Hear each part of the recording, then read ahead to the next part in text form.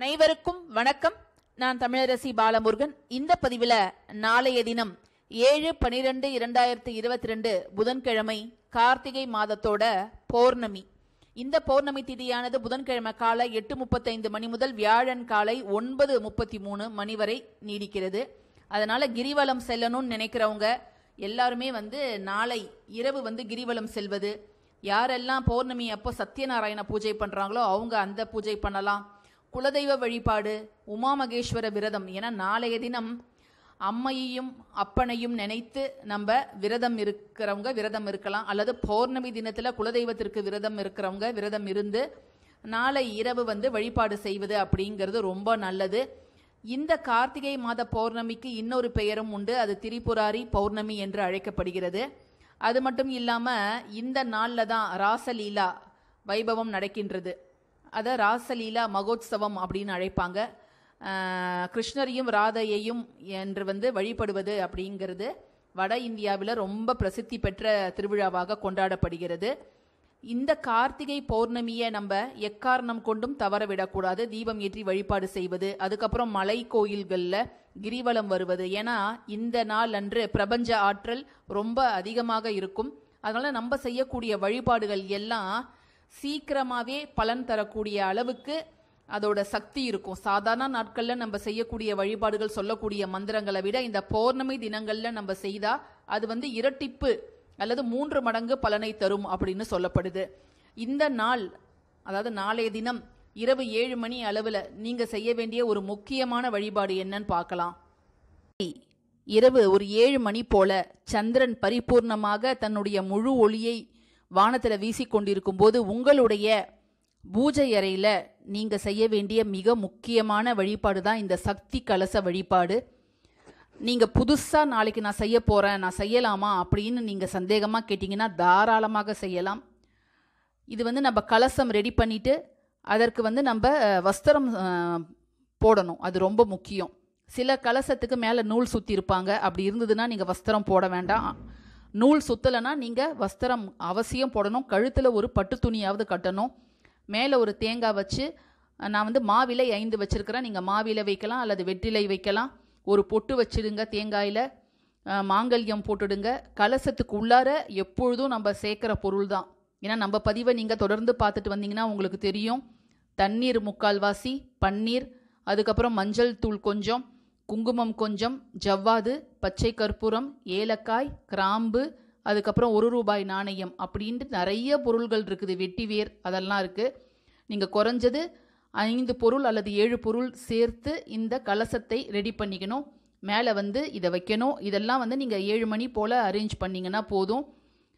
பக்கத்தில் வந்து ரெண்டு குத்து விளக்கு ஏற்றி வச்சிடுங்க. ஏன்னா நம்ம கலசம் வச்சோன்னாலே குத்து விளக்கு ரெண்டு சைட்லேயும் வைக்கிறது தான் நம்மளுக்கு ரொம்ப ரொம்ப சிறப்பானதாக இருக்கும். புஷ்பத்தால் அலங்காரம் பண்ணிவிடுங்க கீழே வந்து நான் பச்சரிசியும் வச்சுருக்கிறேன். பச்சரிசி உங்களுக்கு இங்கே பார்த்தா தெரியும். பச்சரிசியும் இருக்குது. அதுக்கப்புறம் நான் பூக்கள் வச்சுருக்கிறேன். நீங்கள் பச்சரிசியை பரப்பிட்டு வைங்க. வாழை இலை கிடைக்கலனா நீங்கள் ஒரு தாம்பாளம் எடுத்துக்கிட்டு அதில் பச்சரிசியை பரப்பி அதுக்கு மேலே இதை மாதிரி கலசத்தை நீங்கள் வச்சு அம்பிகையை நீங்கள் ஆவாகனம் செய்யுங்க. உங்களுக்கு எந்த அம்பிகை அம்மன் சக்தி வழிபாடு எந்த உருவம் பிடிக்குதோ நீங்கள் அவங்கள வந்து மனசில் நினச்சிக்கிட்டு இந்த பௌர்ணமி தினத்தில் எங்கள் வீட்டுக்கு வாங்க எங்களுடைய துயரத்தை எல்லாம் தீருங்க அப்படின்ட்டு நீங்கள் வந்து வேண்டிக்கலாம். இதை நீங்கள் செஞ்சுட்டு தீபம் தூபம்லாம் ஏற்றி வச்சுட்டு நீங்கள் வந்து நூற்றி எட்டு முறை அர்ச்சனை பண்ணலாம். உங்களுக்கு எந்த அம்மன் பிடிக்குமோ அவங்களுடைய நாமத்தை சொல்லி நீங்கள் அர்ச்சனை பண்ணலாம்.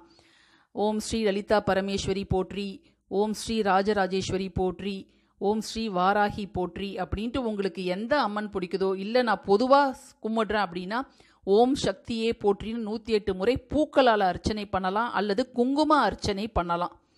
அது வந்து நீங்கள் பண்ணிக்கோங்க. அதுக்கு அதுக்கு வேண்டியதெல்லாம் நீங்கள் ரெடி பண்ணி வச்சுக்கோங்க. இதை நீங்கள் செய்யும்போது நீங்கள் வந்து ஒரு பாயிலையோ இல்லை ஒரு துணி மேலேயோ அமர்ந்து நீங்கள் செய்வது செய்யறது தான் நல்லது. இப்போ இந்த கலசம் இருக்குது இல்லையா? இது வந்து கிழக்கு முகமாகவோ அல்லது வடக்கு முகமாகவோ இதை வைக்கணும். அதுக்கு தகுந்த மாதிரி நீங்கள் வந்து அமர்ந்துக்கோங்க. நீங்கள் வந்து தெற்கு பார்த்த மாதிரி அமருவதை மட்டும் நீங்கள் தவிர்த்துடுங்க. சவுத் ஃபேஸிங் நீங்கள் உட்காரக்கூடாது அதை மட்டும் நீங்கள் தவிர்த்துட்டு அதுக்கு தகுந்த மாதிரி நீங்கள் கலசத்தை வச்சுக்கோங்க. கலசத்தில் எல்லாத்தையும் ரெடி பண்ணிவிட்டு நீங்கள் நல்லா வேண்டிக்கோங்க. வேண்டிக்கிட்டிங்கன்னா நீங்கள் வேண்டினது நிச்சயமாக நடக்கும். அதனால் கலச வழிபாடு இப்போ நாளைக்கு ஆரம்பிக்கிறீங்கன்னா அடுத்தது மார்கழி பௌர்ணமி அதுக்கப்புறம் தை பௌர்ணமி மூன்று பௌர்ணமிகளில் நீங்கள் இதை செய்யுங்க. இல்லை எனக்கு வந்து நான் தொடர்ந்து செய்வேனான்னு தெரியாது அப்படின்னா ஒரு மாதம் தவறுச்சுன்னா அதுக்கு அடுத்த மாதத்தை நீங்கள் கணக்கு வச்சுக்கோங்க. கணக்கு வச்சுக்கிட்டு நீங்களே செய்யுங்க. வாழை இலைக்கு கீழே வந்து கோலம் போட்டு வாழை இலை போடுங்க.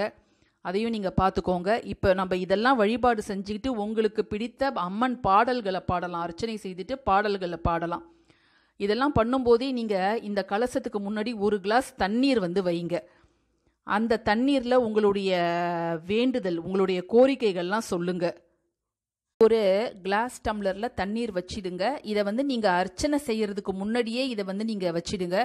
இதில் வந்து நம்ம என்னெல்லாம் சேர்க்கணும் அப்படின்னு பார்த்தீங்கன்னா கொஞ்சம் வேப்பிலை கொஞ்சம் மஞ்சள் பொடி அதுக்கப்புறமேல் வந்து பச்சை கற்பூரம் கொஞ்சம். இந்த மூன்று பொருளை மட்டும் சேர்த்திங்கனாலே போதும். எந்த அம்மன் வழிபாடு நம்ம செய்தாலும் அவங்களுக்கு எல்லாருக்கும் பிடித்தமானது வந்து வேப்பிலை. அதனால் இதை மூணுத்தையும் இந்த கண்ணாடி கிளாஸில் வந்து சேர்த்துட்டு நீங்கள் இந்த வழிபாடு பூஜை அர்ச்சனை அதுக்கப்புறம் பாடல் அது எல்லாத்தையுமே நீங்கள் பாடுங்க. இதெல்லாம் செஞ்சு முடிச்சதும் நீங்கள் தீபதூப ஆராதனை காமிங்க. நெய்வேத்தியமாக ஏதாவது பழம் உலர் பழங்கள் இல்லை நட்ஸு பால் என்ன உங்களால் பண்ண முடியுதோ அதை வந்து வச்சு நீங்கள் வந்து ஆராதனை காமிச்சிடுங்க. ஆராதனை காமிச்சிட்டு ஆராதனை செஞ்ச கையோடு நீங்கள் மொட்டை மாடிக்கு போயிட்டு சந்திரனையும் நீங்கள் தரிசனம் பண்ணுங்க. நம்ம வேண்டிக்கிட்டது எல்லாமே நடக்கணும். எனக்கு தெளிவான ஒரு மனம் வேண்டும் அப்படின்னு நீங்கள் வேண்டிக்கோங்க. தெளிவான மனம் யார் ஒருத்தவங்களுக்கு இருக்குதோ அவங்களால அனைத்து பிரச்சனைகளையும் மிக எளிதில் சமாளிக்க முடியும். அதற்கு சந்திரனோட அனுகிரகம் நமக்கு தேவை.